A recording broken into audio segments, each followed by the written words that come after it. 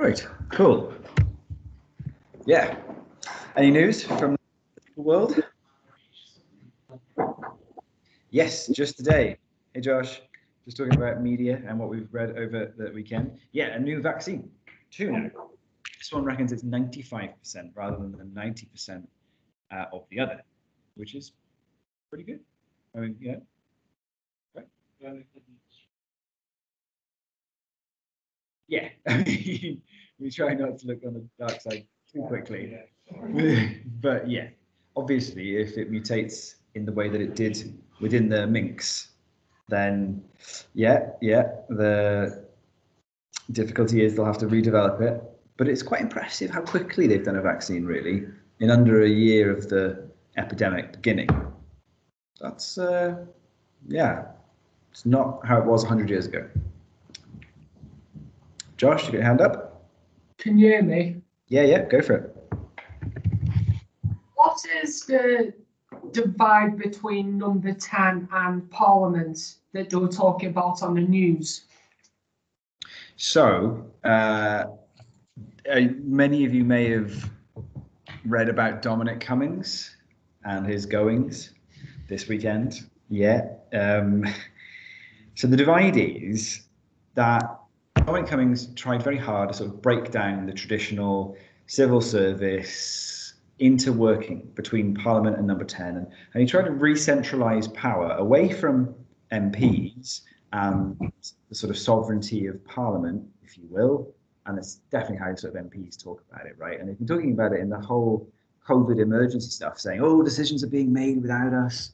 No one's talking to us. We're just getting told to vote and we're being whipped. And then we don't know anything. We're just signing off which is funny, of course, because most of them vote even if they do know you know they vote with the whip anyway. So it's strange. But the the division comes from boris johnson looking like a total mess basically.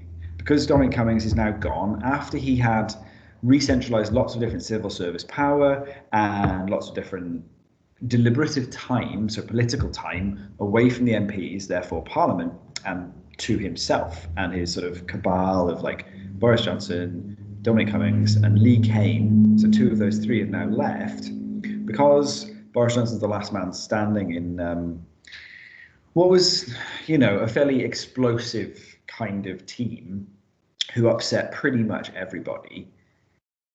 Well, now Parliament feels that they can and should reassert their position as a primary player in the development of uh, policy direction and UK legislation.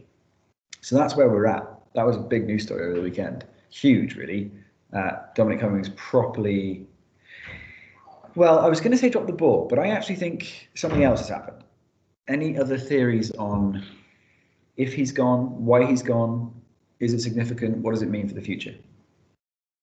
What will it change, for example? It's an odd one, isn't it? Because you think, oh, oh, sorry, was I, no. no, just thinking.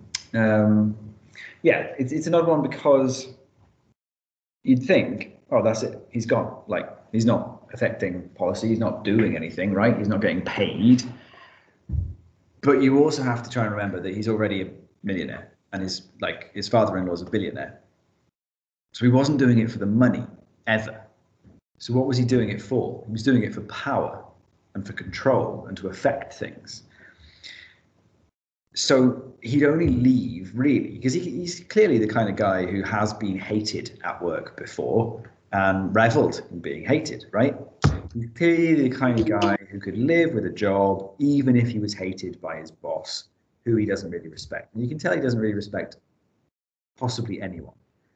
So what has happened, you could argue, was possibly on his terms.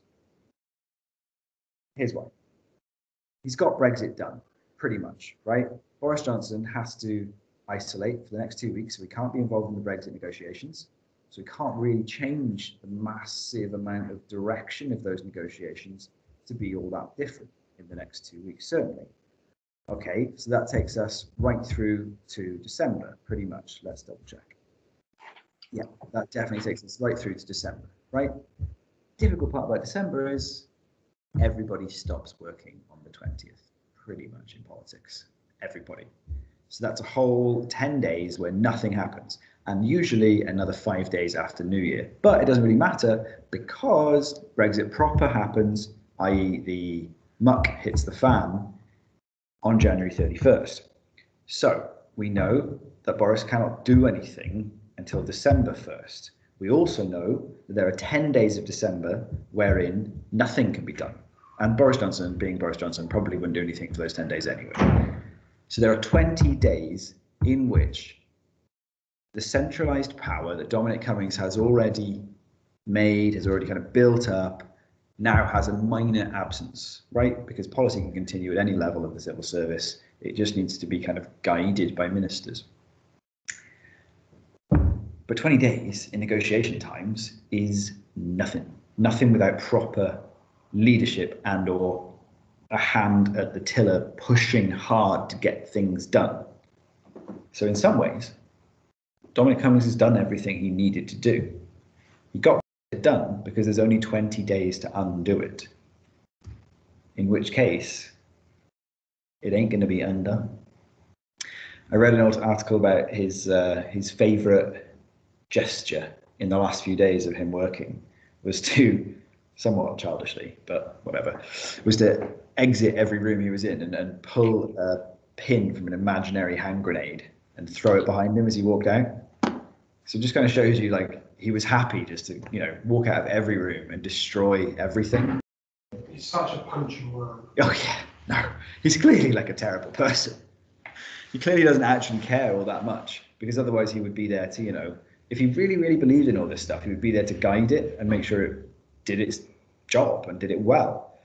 But I don't know if you saw, but the um, the Kent lorry park they've built for Brexit was built on a floodplain, and last week flooded. So the workings that they have worked out, as much as they have, uh, yeah, they don't work. And that, of course, will cause tensions.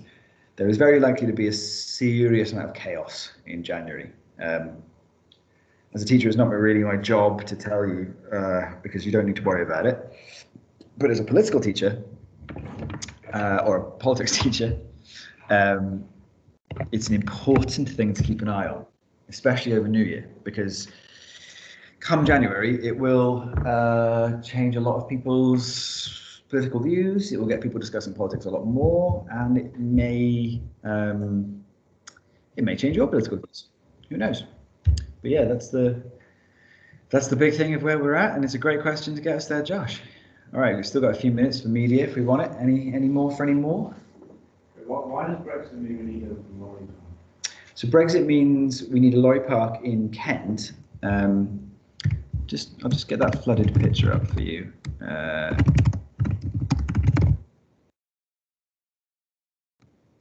Brexit means we need a lorry park in Kent because of the new customs systems. So in the um, in the period when we were in the EU, we had, um, if you remember from first term of AS, we did the, the sort of four pillars, or the three pillars, and then what eventually became the four freedoms of the EU: freedom of goods, freedom of movement, freedom of finance, freedom of services. Right? Uh, freedom of goods is food, and anything else we want to sell in the EU is guaranteed by EU law to go over all the countries of the EU so long as it meets certain criteria. Well, as soon as we stop being in the EU, we stop being in that customs area. So there's no more freedom of goods. Stop being in the EU means no more freedom of movement of people. So we have different passports, we have different customs, we have different lines in the airport or ferries or whatever else. So there's no more freedom of movement. Stop being in the EU means we can't do services over borders, and it means we can't exchange capital or money over borders. So all of that means that every single one of those four things now needs new layers of bureaucracy or stamping, form checking, triple checking, checking it meets the same criteria as the EU, all that kind of stuff. For example, when lorries drive through Switzerland, they even though they have bilateral agreements with the EU, they still have to stop very briefly, jump out, stamp the paperwork, or get it stamped by the Swiss authorities, go through Switzerland, jump out at the border, get it stamped again, and go again. And that takes about 15 minutes in total. Sometimes they have to go to offices, sometimes they have to wait. Haven't got the right paperwork, take five hours. That has been agreed over the course of 40 years, right? And that's why they've got it down. The UK gave itself one year to do something Switzerland has done in 40. And it hasn't done anything because it hasn't even got past the negotiation stages. It could have, four years ago, said we're going to take 10 years to do this. It didn't. It could have said, you know what, we'll retain membership of the European Economic Area. We'll go back to like Margaret Thatcher had it. But they didn't do that either. They said, no, nothing. These are our red lines. And Theresa May put the red lines down and, um, well, uh, we are where we are. So uh, now the lorry park they built, they built on a floodplain. And that's what it looked like a few days ago. So the lorry park is there so that, like I said about Switzerland, when they get to Kent and therefore Dover and the biggest crossing point for so many of our goods, so many of our food exports and imports like lettuce, oranges, bananas, all of those things come through bigger European ports, and obviously Spain grows, uh, and Croatia, for example, can grow uh, satsumas all year round pretty much. It's crazy how warm it is there in the winter. So yeah, most of the sort of fresh food that we eat, if you look on the packaging, you'll be like, oh, Spain, tomatoes, no, Portugal, grapes, Italy, wild. Because the UK cannot grow all of the things we've sort of gotten used to eating over the last 40 years. So what that means is they were planning on letting our lorries wait here, do all the paperwork, and then slowly go through the Dover ferries or the uh, Channel Tunnel and stuff like that. But yeah, they kind of screwed it up. And so, after. It's a very off-topic advice from that sort of thing, and, um, to support right people in, uh, Austria, as a, mosques and that. all right. Um, all like chants and stuff about the, um, protests and the Islamification. of their Oh.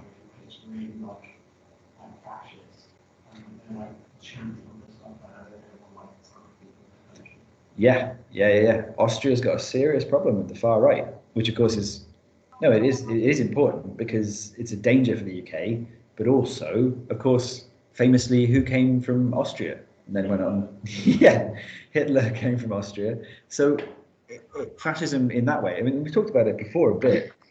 It doesn't go away strictly. It emerges in, in moments like that. There's nothing wrong with Islam. You don't see people outside that church there going, "Oh, you're making Wales too Catholic. You're making Wales too too Christian." But you do see knobheads in Swansea outside mosques and sometimes outside um, Jewish uh, places of worship. Forgotten Synagogue. synagogues. Thanks, thanks. Yeah, you sometimes see them outside of synagogues. You're controlling the world. You're all bankers. This kind of stuff, because fascism. Yeah, it exists, and in, in Austria, some argue that the Austrian government currently is way too far right to uh, to be doing healthy stuff for their citizens. Josh. in the long run, could a religious political party work? They already do, bud. Yeah, they already do. In certain places, religious political parties are the biggest. For example, Angela Merkel's party is the Christian. There you go. Deal. Thanks very much. Uh, is the yeah Christian? Oh, what's the German name? Uh, it's the CDU and the CSU in Germany and Bavaria. Uh, it's like Christian Deutschland Unity, so Christian German Unity Party. So obviously they they you know they hold on to their Christian principles, but they're also about um, federalism, therefore the unity of Germany, and they work with the Bavarian Christian Party as well. So yeah, no, it's entirely possible. Entirely possible. Don't forget that the Conservatives in the UK um, have Conservative bishops in the House of Lords, because we still have members of the clergy in our second uh, second house, second chamber, and that means that you know they can be a political party if, or associate to if they so wish. They're supposed to be independent, but most of them don't. They they can properly take Tory money. And Jacob Rees-Mogg, uh, just last year, was on Good Morning Britain saying, uh, early last year, uh, saying he doesn't support abortion. He doesn't support uh, gay marriage in churches, doesn't support uh, loads of stuff. Like he says, I believe in the traditional Catholic teachings, which wouldn't give women the vote either. So, you know, let's not presume that Britain is free from all of this stuff. Devolution, however, which is today's topic, e segue into stuff we have to move on to, uh, tries to avoid all that. So, um, oh, actually, before I uh, before I forget, um, just one more thing, and this may be of interest. Share the second screen. Share content. Yeah, there is a Zoom on Wednesday night um, to find out about uh, Wales's housing crisis, what people are doing about it, what they're discussing, uh, and what it means. If you're interested, it's also about you know houses for young people because at the moment we don't have enough. We do not have enough. We have a crazy number of people on council waiting lists. We have a crazy number of uh, people who elect to be homeless because the private rented sector is so expensive or crazy and the uh, council waiting lists are so long. So yeah, and you know many of those homeless people are of all ages. Whenever you go to somewhere like Cardiff or Swansea, pre-pandemic, uh, it was it was sad. It was really sad. So yeah, something to consider. All right, all right. Show, show, show. Last week, hopefully you've still got your uh, stuff, your notes. If you haven't, I'll give you a brief reminder. We, we, we, we looked at the powers of the First Minister and the Wales Acts that got us there. Can anyone tell me what the most recent Wales Act is? Wales Act 2020. 2020. You know it. 2020 Wales Act is the most recent. And before 2018, so that was the Senedd and elect, oh, it's the Senedd and Elections 2020 bill, wasn't it? Senedd and Elections 2020 bill that got us to where we're at now in regards to how devolution works and whatnot. But before, and this is something we didn't really kind of go into, we talked about how we have a reserved powers model, but before 2018, so pre 2018, and the uh, 2017 Wales Act, the one before. 2020, basically.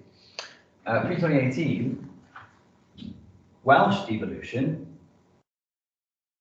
Welsh Devo, operated, and here's the kicker, on a conferred, C O N F E R R E D powers model,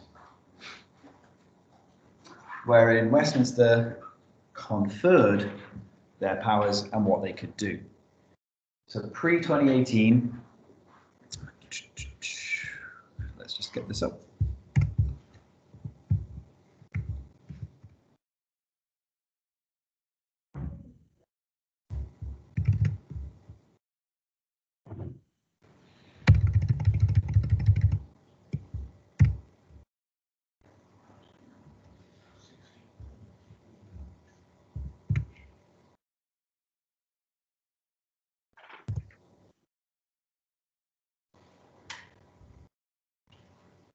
So it's only really in the last two years that the Welsh Government and the Welsh Parliament has had the freedom to to really affect absolutely everything that is not uh, reserved. And also, that then takes us up uh, to somewhere similar to Scotland, but we'll get to that. We'll get to that because the list of reservations that we have even now is ridiculous. It is huge. The reservations is something like um, 154 reservations. Mad. Westminster have just gone, well, yeah, Scotland might have lots of stuff, but you, Wales, well, no, you're not allowed to do these 154 things or whatever it is.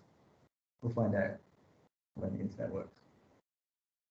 Yes, reserve powers model in Schedule A of uh, one of the seven there, that. So maybe it's in all of them, maybe all updated, sorry. General reservations, the Constitution cannot affect the British Constitution, but we can affect the Welsh. Public service, we cannot change the way, oh, let's zoom in, you can't see this properly.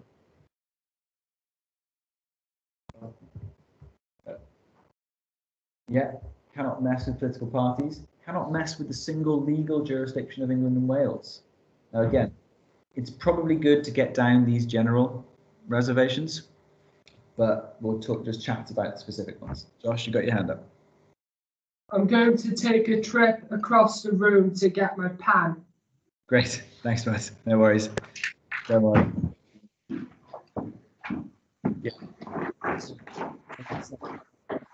Eve.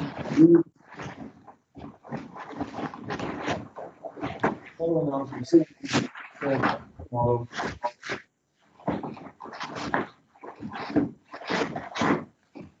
Even today, or even in 2020, the reservations or reserved powers to Westminster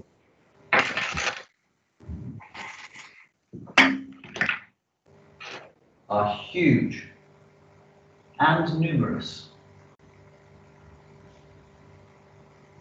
And on screen, we have the general reservations. Go for it, Josh. Turns out that I do not have my pen on me, so I'm going to have to go to a different room and borrow someone else's pen. That's grand. Thanks for checking. Go for it. Thanks, bud.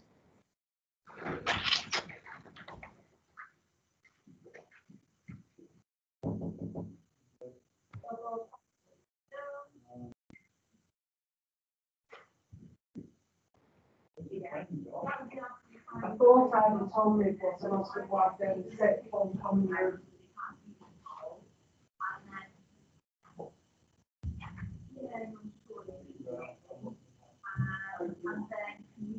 Thank.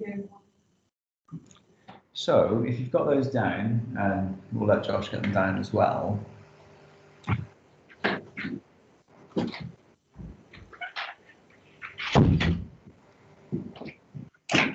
What we remember about the legal jurisdictions of Britain? Exactly so. So we've got three big ones, the Scottish one, the Northern Irish one, the England and Wales one. The general reservations, you can see the single legal jurisdiction of England and Wales cannot be touched by the Welsh Government or Welsh Parliament. Even though just recently there was a commission uh, started by Carwyn Jones in 2018, I think, and it finished late 2019. Uh, no, wait, was it 2018? It was either late 2017 or early 2018 when Carwyn started it. And um, yeah, it reported late last year saying that there should be a legal jurisdiction for Wales. There should be four legal jurisdictions in the UK. So the commission made by the Welsh Government as a report to go to all governments of the UK, even though Welsh Government commissioned it, cannot be put into action by the Welsh Government. However, if the Scottish government were to do something different with their legal jurisdiction, they're totally allowed to do it. The same is true of certain transport matters. Scottish government has full control over rail transport and road transport. Full. No reservations. Nothing. Scottish can do what the hell they want. Wales, as you can see, has certain road transport, rail transport, quite a lot of transport reservations, really. So if you're going to think about Scotland as having like Premier League devolution, and Wales has got, well, Cymru League devolution, what does this tell you? Really unbalanced. Devolution is really unbalanced. One of the main points you can take from today is that devolution is unbalanced, and the way that it is described politically in another sentence is that devolution is asymmetric. Asymmetric. Is a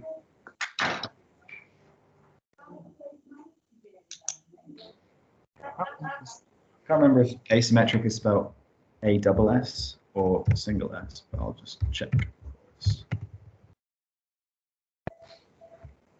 It's just one. Yeah. And that's how it's described in political constitutional structures around the world. Devolution in the UK, UK devolution is asymmetric.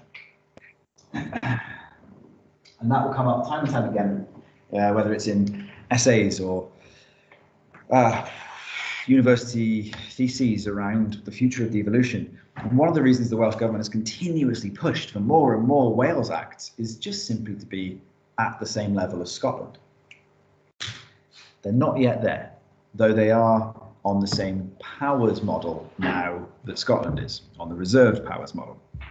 Would you say it's because Wales is like been controlled by the- Possibly, yeah, could be that. Uh, it could also be.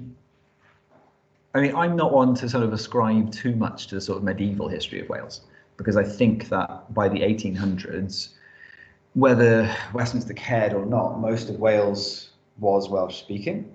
Um, still, uh, it had a massive industrial thing. You know, Wales, Swansea was the copper capital of the world in the 1800s It was one of the biggest iron producers in the world. copper, iron, coal. Wales in the 1800s was one of the richest countries in the entire world, and they were loud and proud about everything it being Welsh. And obviously, in time, it grew to be part of the British Empire uh, as the empire expanded and you know stamped its name on everything. And that's fine too. You know, this is all part of history. Wales. Some people argue pushed against it. Some argued fully embraced it and loved getting rich. You know, you look at uh, Pennsylvania it's full of Welsh place names like Bala and Cynwyd and uh, yeah, more. The place where Joe Biden comes from nearby, uh, a bunch of Welsh place names. So um, it could be that, or it could be that the first vote for Welsh devolution in 1997 was won by 0.5%. And so they went really slowly. Do you remember that term? they gained losers' consent. So the losers' consent thing is getting like people like the Tories on side, the abolished people who used to be abolished and now are just Tories or whatever, or Lib Dems or who knows. And so, it, you know, they didn't want to rock too many boats all at once. It was only after the 2011 referendum that people went, oh, okay, most people want this, let's go and let's go faster. Which is why, in the last 10 years alone, the powers of the Welsh Government have trebled. They are literally in the same sort of number of people they had 10 years ago, but the powers they've got are huge. Which is why we saw that video last week about talking about expanding the number of MSs. You stop get like their own parliament and stuff reforms. Although the rights. Yeah, so their vote in 1997 was much better. I say better, it was bigger. You know, they, they had a clear, clear majority. And that meant that the UK went, well, okay, You can have as much as you need. And Blair, being, you know, at that time quite generous with the sort of manifesto promises and the devolution settlements, he said, yeah, give them as much as we can.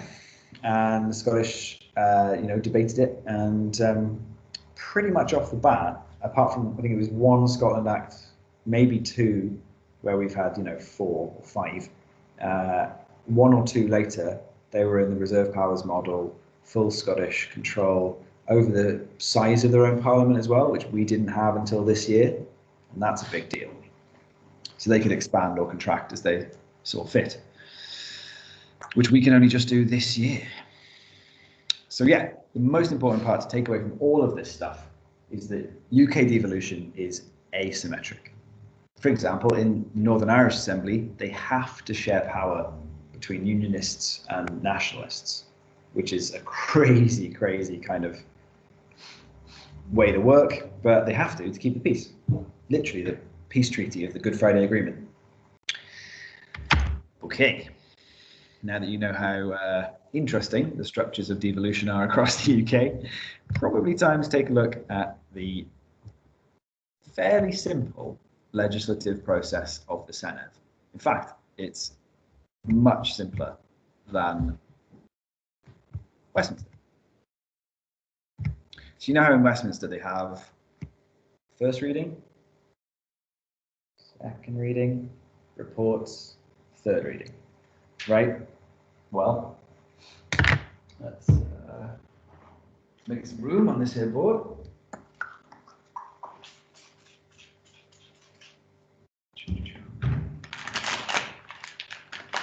In the Senedd, there are just five stages. And they're all oh, transparent. The Senedd, through the Senedd has just five stages. Damn it. Ah, that's too big. Come on.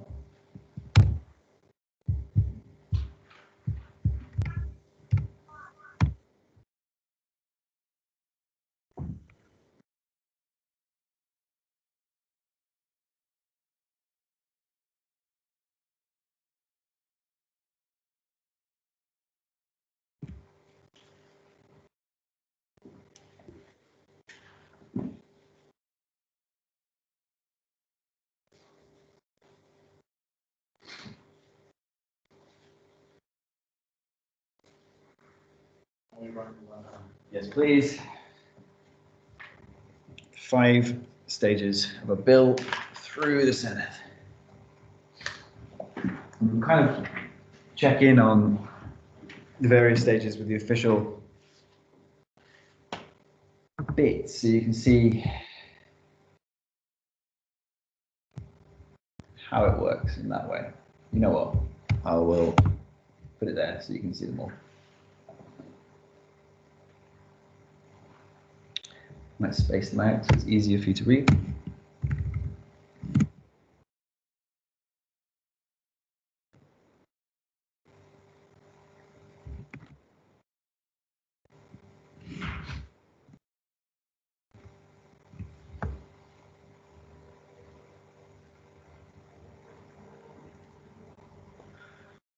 So stage one is a little like the first reading that we talked about in Westminster. However, there is a plenary a plenary vote.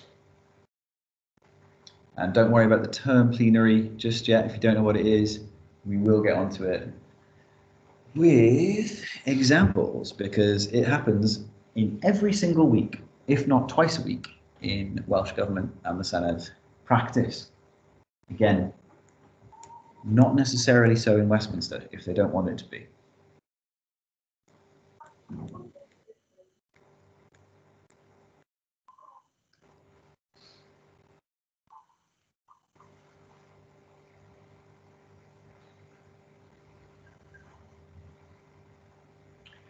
So yeah, stage one is a bit like the first reading, stage three is a bit like the second reading, and stage four is the third reading. However, again, unlike Westminster, in the Senedd, every time it can be voted down completely and destroyed.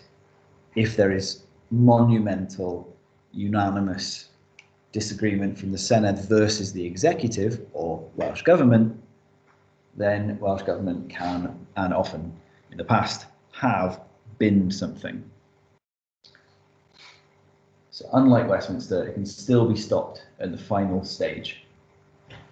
Indeed, it can even be stopped after the final stage if the Counsel General deems it uh, not legally applicable or damaging to the intergovernmental machinery. In fact, the Secretary of State for Wales also has a say in stage four. But we'll get to that. These are just the big headlines for now.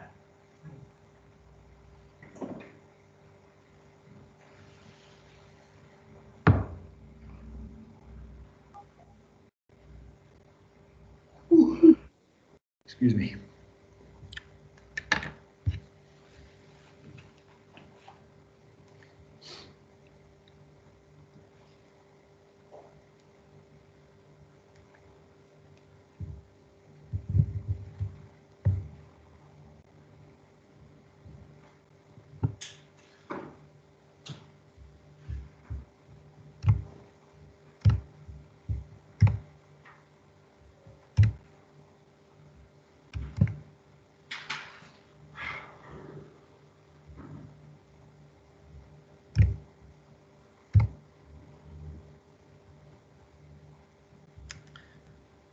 Cool, cool. Really good, good, good, good.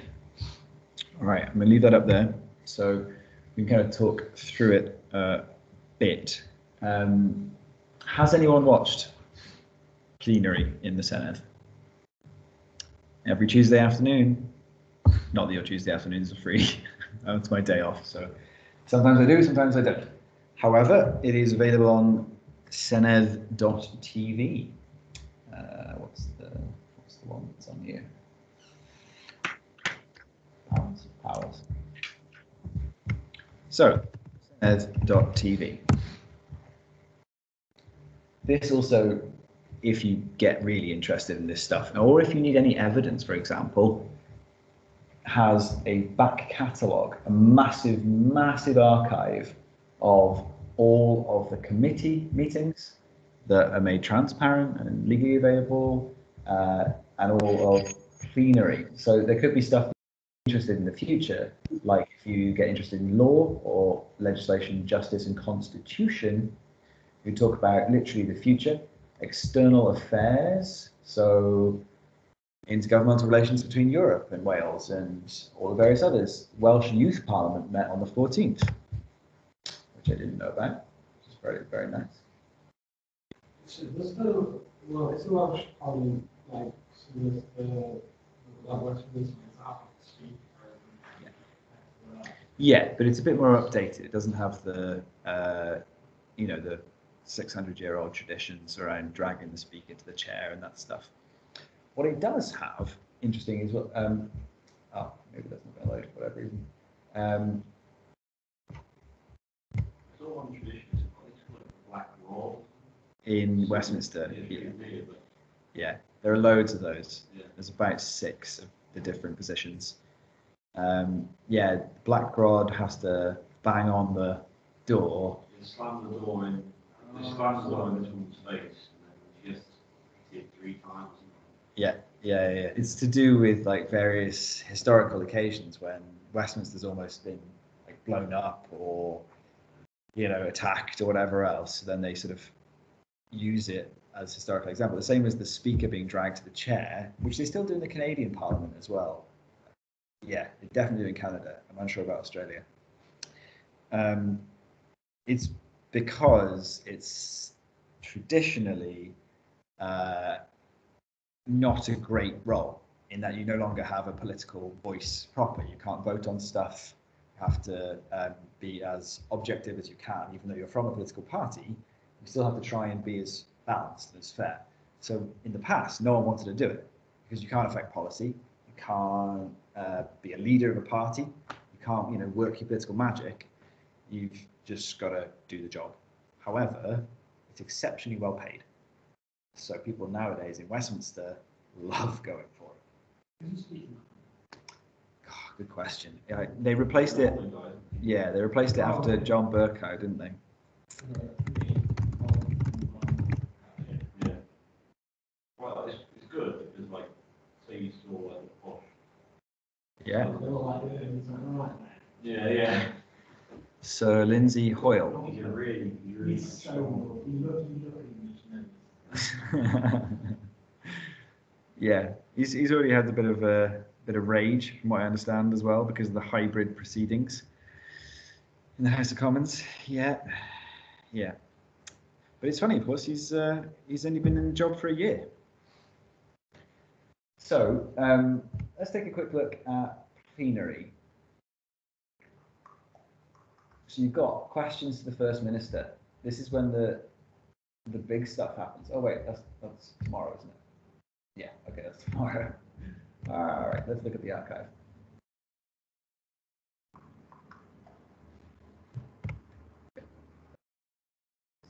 Wait, no, that's not. That's the. So again, there are two plenaries a week. Go back,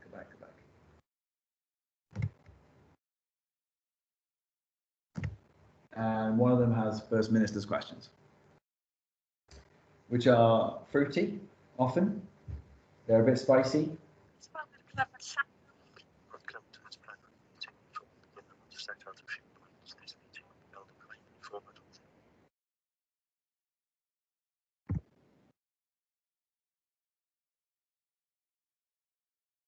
So instead of having a speaker, we have a llywydd, which is a bit like the chair, really. That that thing that they have to have, Yes, indeed. However, unlike Westminster, it isn't brought in and out every time. It's left there at the beginning of a government, the whole term, the whole four or five years. they have, that's not like the- No, it's that is the only element of monarchic tradition. It's the, that little. It is well, it's not little really. I've right next to it. It's sort of, sort of you know, a good meter long, and it is cast. It's metal proper. It's relatively heavy, but you lift it. It's like seven k, maybe it's nothing like it. a few of these, if that.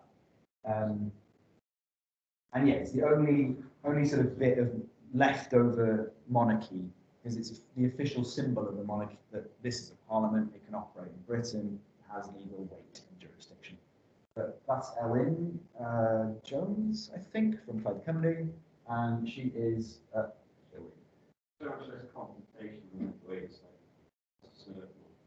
Exactly so. Yes, um, they designed it in order for it to be more collaborative and in compromise. Yeah. It's Northern Ireland.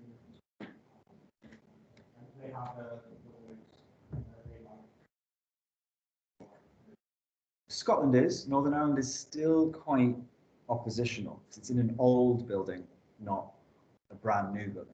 The Senedd has been built in your lifetimes. The Senedd you know now wasn't there 20 years ago. It wasn't there when I was a kid.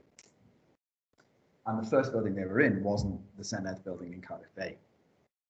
But yes, when they designed this parliament, they specifically designed it so it would be more collaborative, uh, mostly because they presumed and actually, that's proven to be truthful.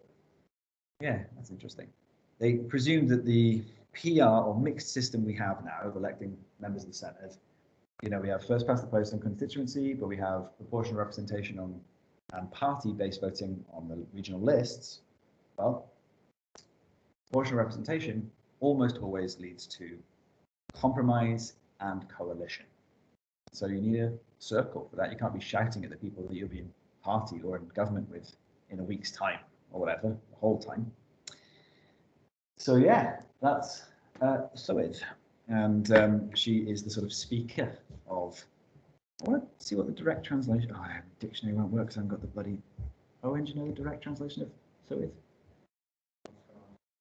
Oh yeah, go. Sorry.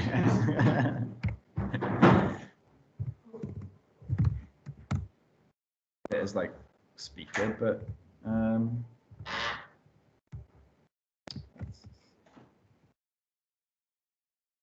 it is just presiding officer. So Hmm. Interesting. It kind of just sounds older in my head. Like, well, anyway, yeah. Yeah, we don't have to fully wait for Owen to get back to watch some plenary. Um, First Minister's questions can appear odd in that often the first question he gets from someone, he'll have an easy, instant answer for. But it's the follow-up questions which are the spicy bit.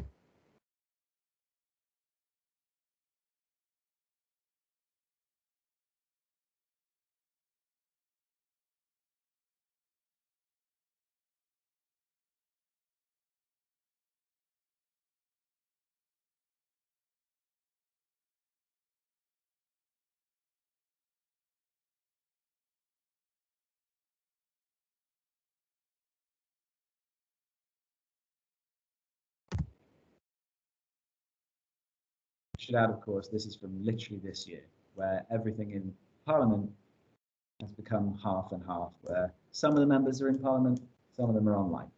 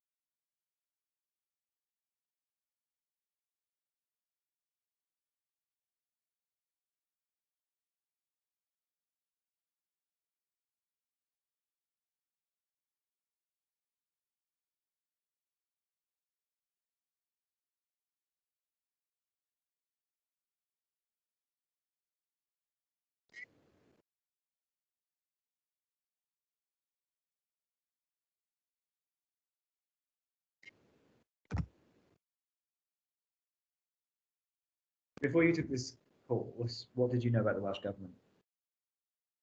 I knew, I knew it's. Yeah, yeah. No, that's more than a lot of people, I tell you. knew it was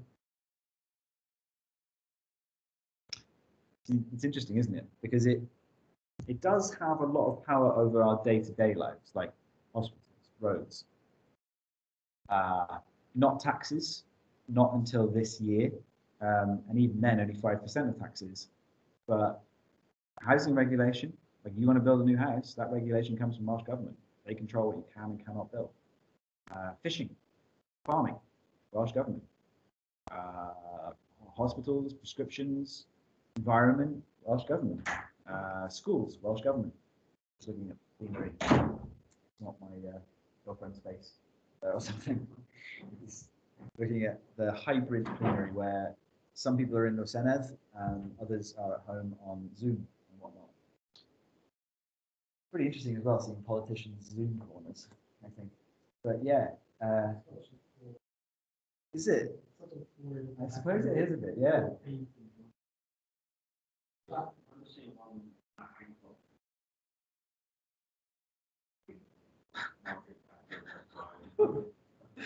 Wow, wow.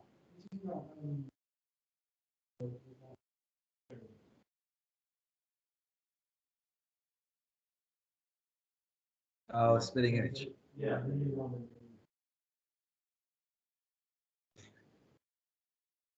to- Okay, that's interesting. I mean, uh, yeah, so long as they are punching up, you know, taking the mick out of people in power, then that's good. It's good to know. I haven't had time um, because she's actually in Plaid Cymru. She is a Welsh speaker. Uh, I think she's from somewhere uh, just west of Gwent way, um, Newport and Gwent way. Uh, and I, I don't know. Maybe she's in her parents' house or something, or maybe she just loves those sorts of old pictures and whatnot that have been given. It's quite quite adorable. But this is the way that Parliament is run at the moment, um, and she's talking about the media deficit, whereby not everyone in Wales knows what the Welsh government does. Hopefully, this year, thanks to the crisis, is really up to people's understanding. But uh, she's got a little bit more to say, so let's find out.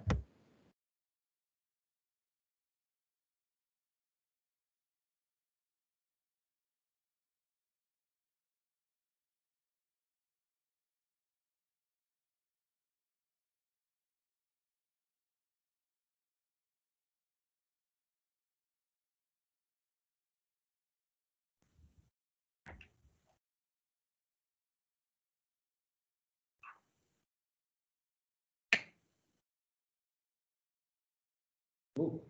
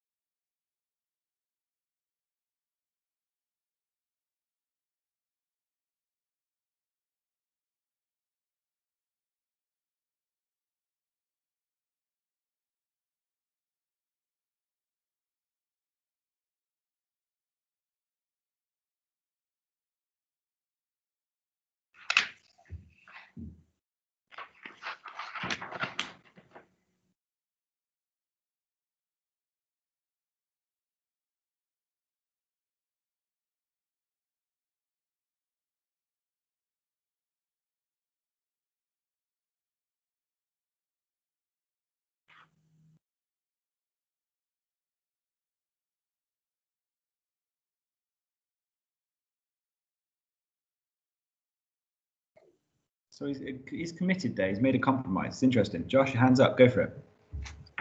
I can't hear it. Oh, damn it. Sorry, bud. Damn it, damn it, damn it. Ah, don't know where. I'm gonna, I'm gonna just try an- another archive one. So stick with us. I want to try one from last year so you can see what it's like when all the politicians are actually in. Because it might seem a bit uh, stuffy today or last week because obviously they're on Zoom and they're all trying to be as polite as Zoom allows. But there have been some raucous moments. There have been some brouhaha. There have been some serious like boos. Actually, I was because in the Senedd when you go, you can actually sit right above where all those chairs are. Right above, so you're looking down into the bowl, as it were, the actual chamber, and uh, and yeah, it's it's it's kind of wild. Um, let's see, let's see. How do I search the old archive What election the next year? for the Welsh government, Welsh Parliament? So, uh, Yeah, Unless we can take part, right? unless we can. We can allow weekend. Oh yeah, yeah, yeah, yeah. Sixteen-year-olds and above can take part in May next year. that was super. um, Yeah, so there, there will likely be local government votes at the same time. So if you're interested in that, um, that's a thing. Yeah, uh, yeah, early next year. May. May. The campaign will begin in. Oh, maybe I didn't have time to tell you. Damn it. And maybe I did. In April, I won't be able to teach you. Yeah, I did tell you. Yeah. Yeah, April. Um, I mean, again, we will have everything on the two units done by April. Uh, but yeah, I'll be I'll be on the road. Any ideas of teachers? Not yet. Again, uh, chatting with the head uh, when he's got free time this week. We were hoping to squeeze it in today, but um, extra meetings came up. You would not believe how many meetings our poor head teacher is in every single day. It's mad. Poor poor fella. I do not envy him.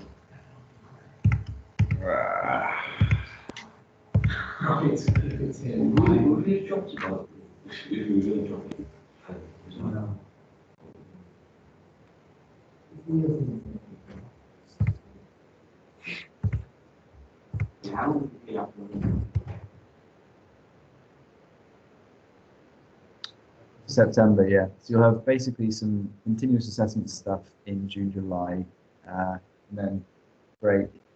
But again, in the um, June, July period, we'll also be going over essay and exam stuff. Uh, and then come your A level, I'll be with um, just the sixth formers full time. So um, I'll also be available for like extra mental help if you want uh, just literally a one-on-one session with essay stuffs. Got loads of that stuff's ready for you at the end of the year. And you know, this year you're quite lucky in a way because you know, there's not having the proper external exams going on the continuous assessment. And I know you're all putting in a wicked amount of effort. So, you know, it's uh, it's it's great to yeah, it's great to be able to do that. It just means that like you don't get that stress.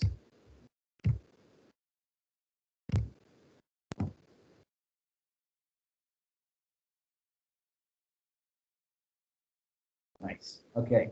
We've got a plenary from last year. Josh, uh, put your hand up. I'm going to watch if you can or cannot hear it in the different ways that it's done. Ah, damn it. Picked the wrong one. Sorry. Let me go back. Because what's really, uh, what's really, what's really interesting to watch is the ways in which First Minister can be uh, prodded, really. You know the way Boris Johnson has Prime Minister's questions? And basically he laughs his way through it? He stands up and he goes, blah, blah, blah, blah, blah, blah, blah, blah, I think I'm fine, blah, blah, blah, blah, blah. And then sits back down and doesn't really do anything or compromise. Well, we've just seen that the First Minister's literally just compromised with the Plaid Cymru speaker about making things clearer for everyone next year. And probably that means funding more papers and who knows what to get the message out there about Welsh elections, as well as increase the wider media sphere. Well, last year you still get because we were there meeting in person, you know, you still get massive disagreements. You get people booing each other, laughing at various people. Some of the questions, oh, there was one, while that's coming up briefly for the internet, it's look ooh, to be. There was one where um,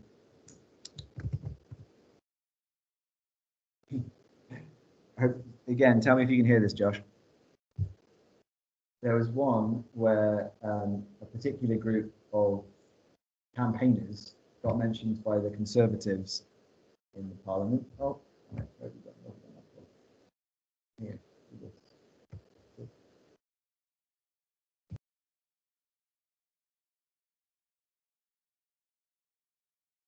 You hear that, Josh?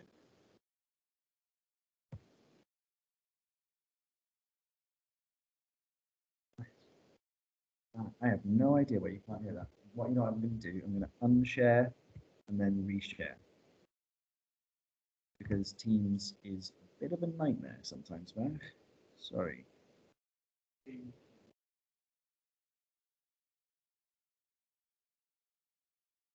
Yeah. Yeah, so a week today, um, it will be here. Let's try this again.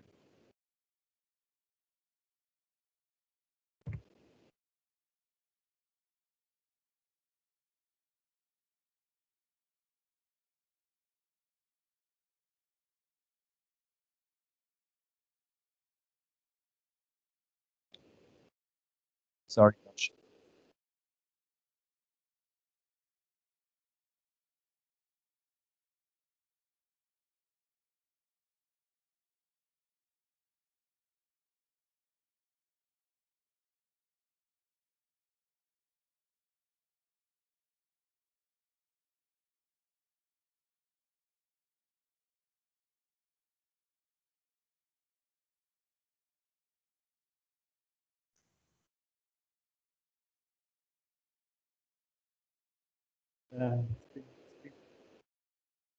Sorry, it's been a while since I watched that, and he's literally talking about me, which is funny to me. Um, and sorry you couldn't hear that, Josh. Uh, I'm going to have to find out from the team at the Hub Teams why. But hopefully the Senedd thing has popped up. Um, let's see if this is a bit different. Sometimes it's literally just the difference between sharing the screen and sharing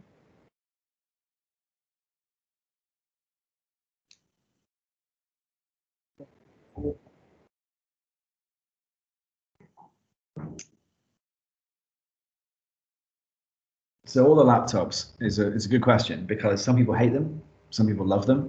They're supposed to be that you can reduce paper usage. You should be able to come in, log in, and everything that you had, say, in your office, because the Senedd uh, is one building, and then they have Tŷ Hywel, which is the sort of administrative building, right? Um, and that's where most of the offices are. That's where the work happens. Different floors house like, um, uh, you know, MS is for. I think on one level it's like Labour and Plaid Cymru, and then on another one, uh, another one it's like Tories and and UKIP and whoever. But obviously that changes depending on who gets elected to the parliament and the size of those parties. But then on the top levels, you've got like um, First Minister, Office of the First Minister, level down, cabinet, cabinet officers and ministers, cabinet civil service, that kind of thing. So then you should be able to go from those, you know, highly classified offices with have crazy amounts of detail, crazy amounts of uh, protected data, and even you know intergovernmental stuff, defense, security, terrorist threat levels. You should, as even the first minister, be able to go in, sit down, log in, and all the stuff you were doing prior be right in front of you should you need It's it. because in, in Westminster, they, they use like hundreds of cards every year because they have to transport documents Yeah. like a secure like, card. Yeah, yeah, yeah, exactly. Yeah, and it's a big problem um, because it's deeply inefficient. Uh, it's bad for the environment, but worse than that, on a security level, it's also why Westminster has so many leaks. Like if you've got a driver and you leave a tiny bit of that paper or document that's super high classified, highly classified, well, the driver's not going to read it, not going to not read it. Sorry, you know, you're a driver and you're paid to just sit there and like not pay attention. Piece of paper in your back, you might go, oh, and subconsciously you'll naturally read something. Like anytime I pick something up with text on it, I don't not read it. I'm like, oh, and then I've read it. So, yeah, the Welsh government tries very hard to be secure, tries to be uh, as environmentally friendly as possible. Also, Westminster prints off more paper than any other parliament in the world. They still, Westminster still has all of their laws written on vellum. You know what vellum is? It's like goat skin, stretched. Every time they make a new bill, they put on goat skin as well. they just they just do because it's the tradition. We don't do that. A bit of paper, big uh, royal assent seal. When the royal says yes, we smash it, get some wax on that paper, the show. The rest of it goes on the computer.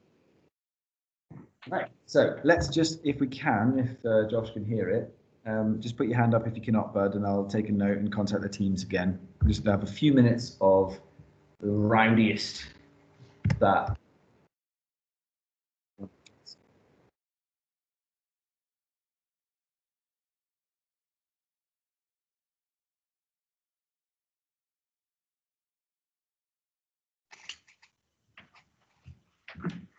Hand up, Josh.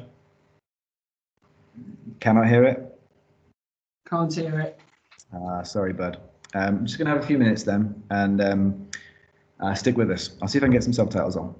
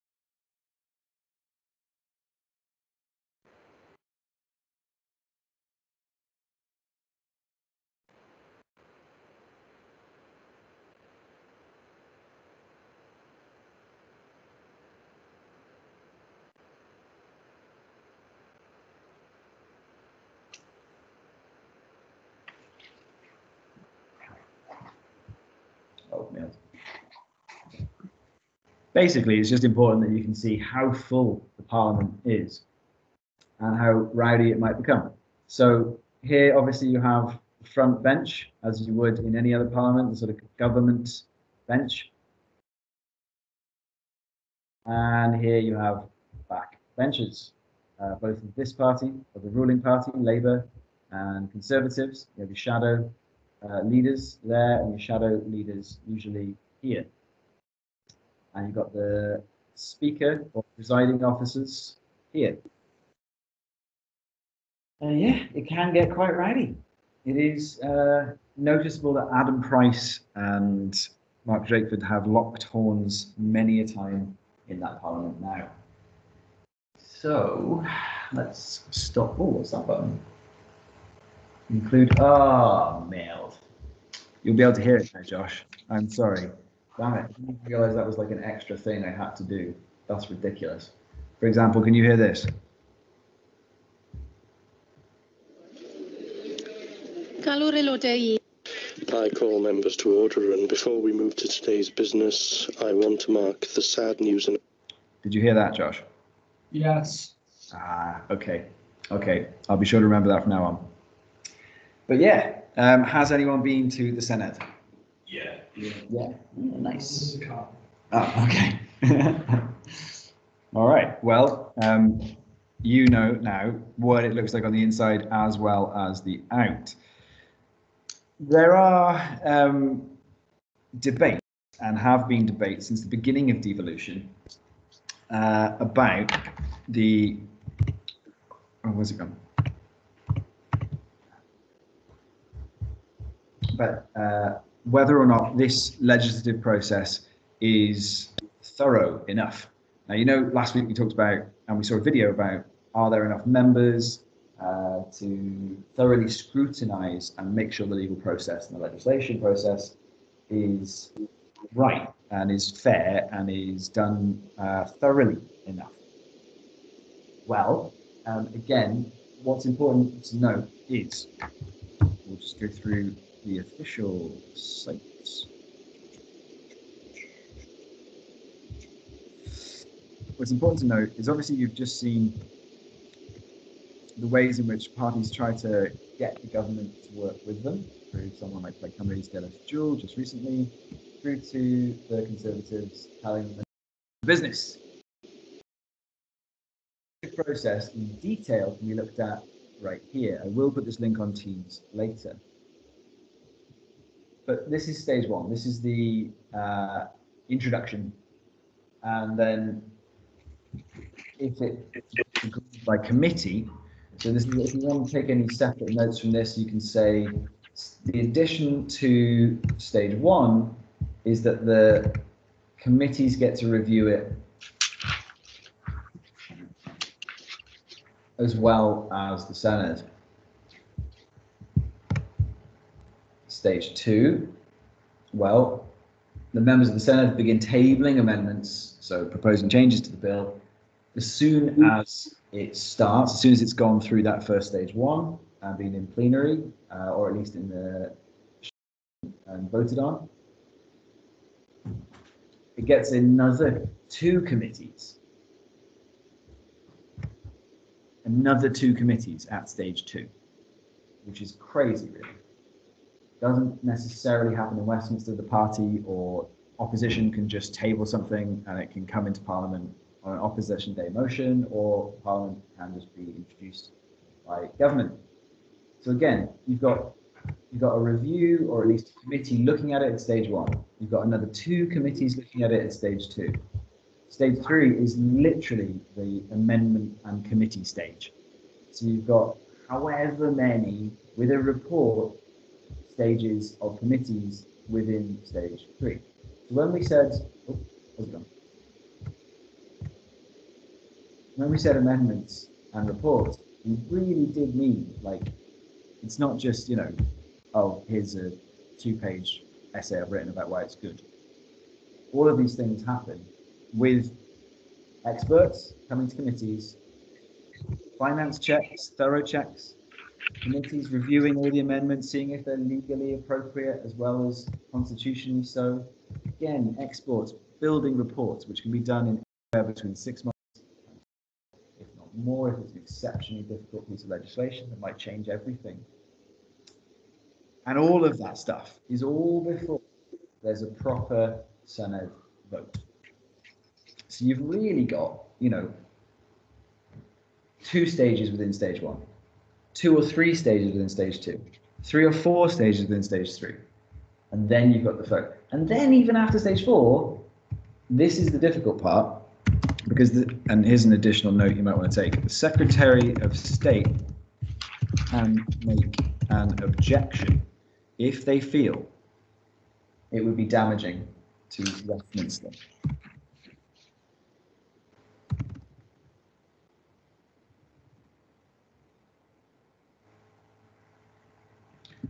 This is the, again, additional checks. So the debates on the sort of legislative effectiveness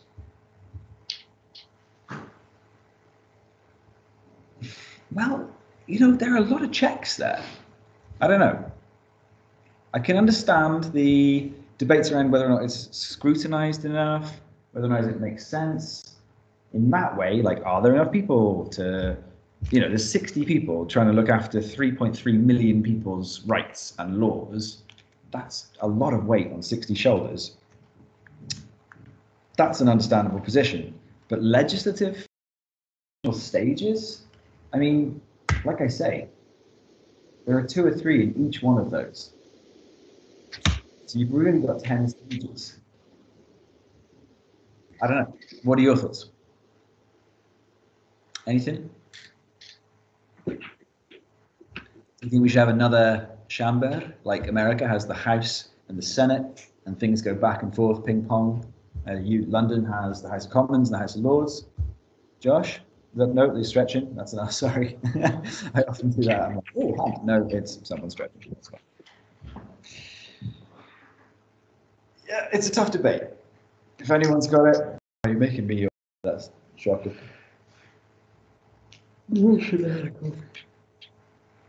Yeah. Um, but this comes down to like whether or not we think unicameralism, oh God, I hate saying that word at the end of the day, unicameral structures uh, are better, or bicameral or tricameral. So for scrutiny, scrutiny, uh, well, legislation and scrutiny. Oh, this is the debate. Which is better? Bicameral? Bicameral? Or tricameral?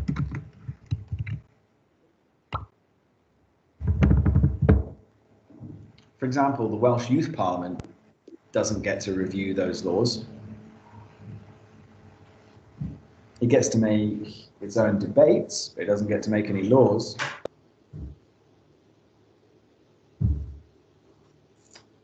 So obviously, unicameral is one body, bodies in, oh, Jeff, in bicameral, and three in tricameral.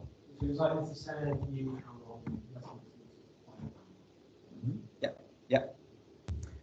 In America's legislation with the, uh, or legislature, which is, uh, yeah, is officially titled Congress as a whole. We have the, the Senate and the House of Representatives.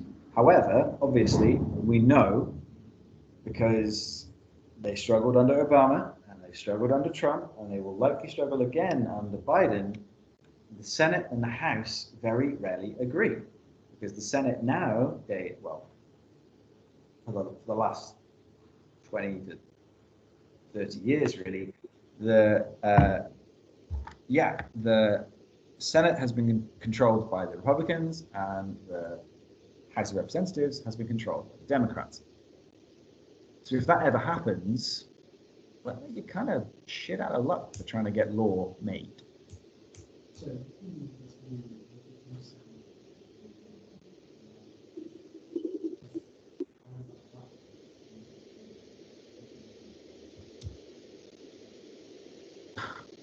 Did not see that. Wow. America's full of crazy senators, though. Yeah.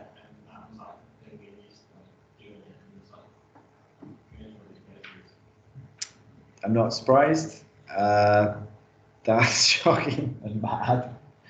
I don't know why you'd want to do that, but each to their own. Um, I have seen various uh, reps that are really interesting. I mean, I still think uh, Alexandria Ocasio-Cortez um, is, you know, is, is one of the youngest American politicians they've ever had, and therefore kind of understands younger issues better. So if, for example, right, um, and here's a suggestion that I'm kind of working on creating a paper around at the minute. If, for example, you've got a bicameral situation like the UK, where the average age in the House of Commons is 57, and you've got average age of some of people in the House of Lords as 70, should your voices as 16, 17, 18, uh, and should the voices of people below 35, keeping in mind that in America you cannot be president before the age of 35, should there be a third house for young people? Why not? What would it do if there was for scrutiny and legislation? Would It'd be hard to agree. I, I It's too, more balanced, like more people represented. I too depends on how you approach it in the House of Lords and House of Commons for, you have to have this many young people, because if you have another step of young people that are trying to disagree with the older people, it's just gonna make it a lot harder to it. Interesting. Yeah, yeah, these are all really important points. Like all of those problems and all those good points would actually would be the case.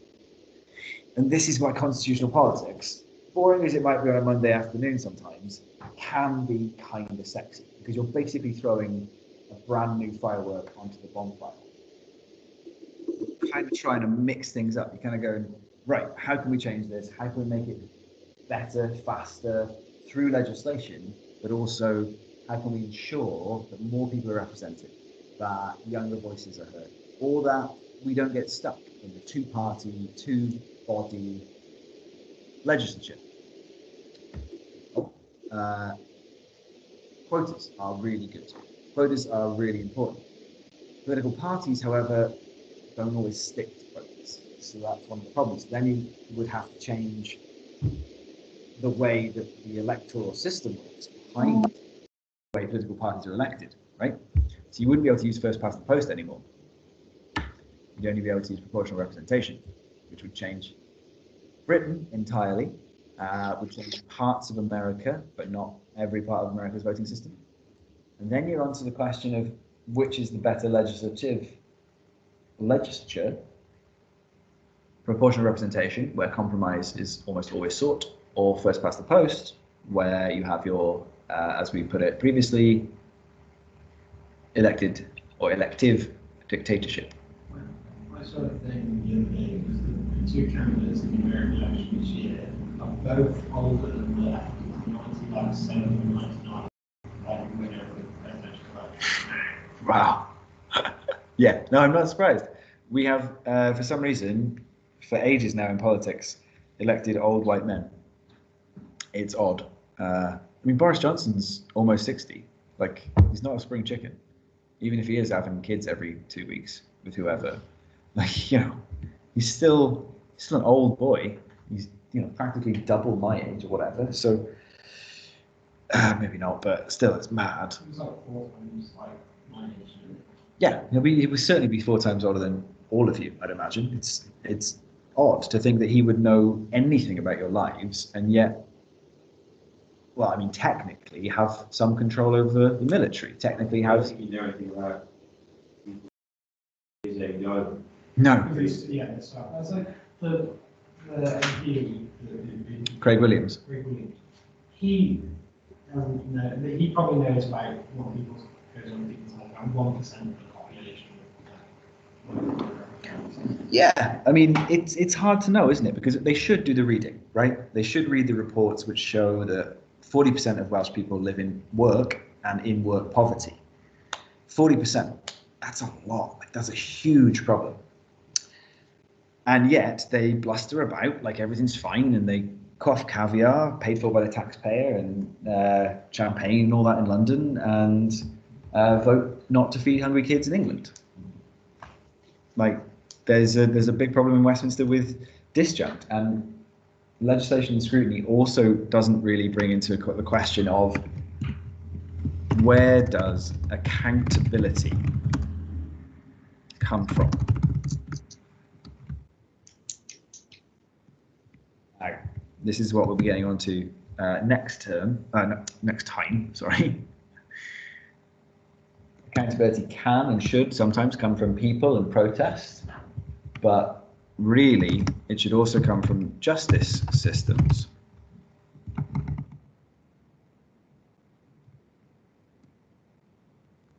Legal challenge, opposition, opposition parties. People in protest. Oh, damn it. So that's important to get down. Where does accountability come from?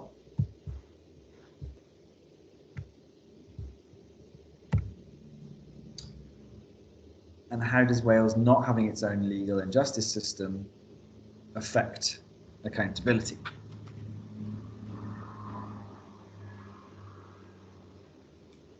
In many ways, some argue that Welsh Labour, the party of power in Wales for the last 20 years over devolved, kind of likes not having the responsibility of our own legal and justice system because it gives them a get out clause. They can say, oh, yeah, we'd love to change it. Oh, yeah, no, we'd love to help with that. Oh, but we can't. We don't control the police.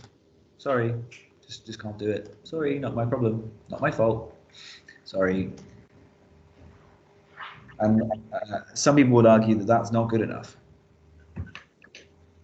And so what we're kind of getting to in this final point is that sometimes, sometimes the asymmetry of devolution causes serious problems in scrutiny and accountability. Because if it's not a level playing field, how exactly can you make it better? So, any big questions? That's literally all we're doing today. Next time we're going on to like uh, impact over history of devolution. Uh, we've we've covered a lot in this one lesson. All good. All good. All right. Thank you for your Monday afternoon focus. Josh, you've got a question. Go for it, bud. How are you? Say again. Sorry. How old are you? Oh, I'm 35. Although I'm sure most teachers would uh, demur. But yeah, keep up the good work. Um, oh, I, I, yes, the homework. There is some homework. Uh, it's ongoing throughout the week, but I also put it on the uh, Q&A teams already. Get your questions ready for Helen Mary on Teams on next Monday. So um, we will be in here. If you've got a Teams device, please do bring it. I will be here with you. So if you haven't got a Teams device or whatever, or you don't feel comfortable, we can use a shared laptop here as well. But Josh, you'll need to call in there to the uh, visiting Q&A Teams. Let's go with what is. That makes sense? And that's a week today. Great. That's the homework. Prepare some questions for Helen Mary Jones of Plaid Cymru. Fantastic. All right. Thanks very much. We'll see you next time on Friday. Very welcome all. Cheers. Cheers, boys. Ta-ra.